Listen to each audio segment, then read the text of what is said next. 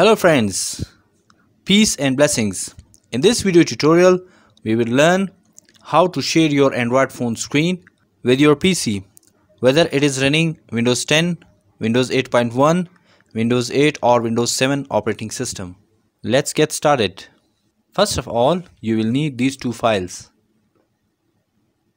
Platform Tools R28.00 Windows and the second one is SCR CPY Win64 version 1.5 links for these two files are given in the description. First of all right click on platform tools and click extract here. You can see that file is extracted here. Then right click on SCR-CPY Win64 and click extract here. You can see that SCR-CPY file is extracted here. Then go to your PC then click on local disk C. In here make a new folder and name it mirror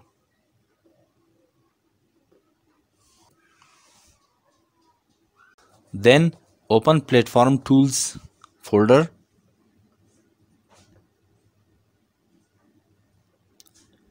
And select all the files. Copy it. And then go back to C drive paste these files in the mirror folder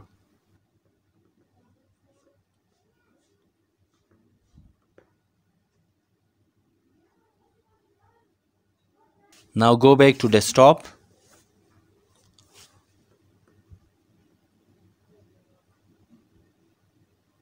And open SCR CPY folder. Select all the files. Right click on it and press copy. Now again go back to drive C open it and here open mirror folder and paste the files here.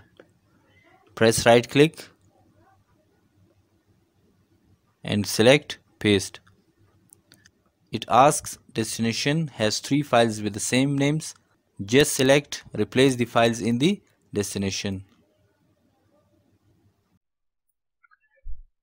Friends now we will set up our mobile phone. First of all go to setting and make sure that developer option is enabled in your mobile phone. If not then tap on about phone. Tap on software information. Now tap several times on build number until it says developers mode is enabled. Since I have enabled developer modes already so it says no need developers mode is already enabled now go back and tap on developers option. Here scroll down and tap on USB debugging in order to enable the USB debugging.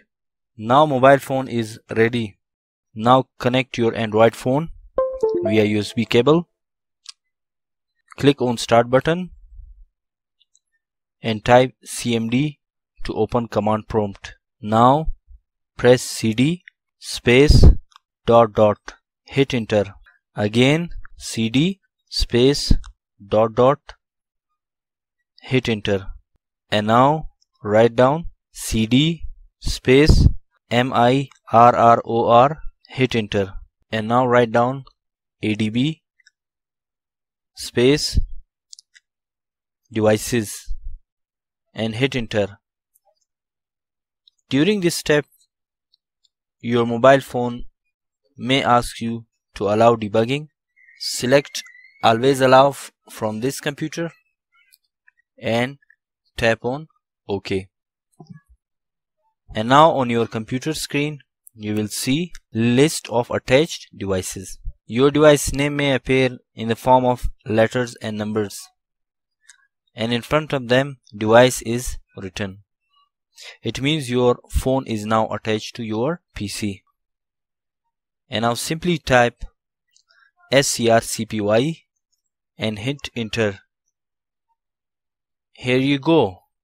Your phone is now connected and you can see your android phone your pc that's how you can share your mobile screen with your pc dear friends if this video helps you please subscribe to our channel like share and comment on this video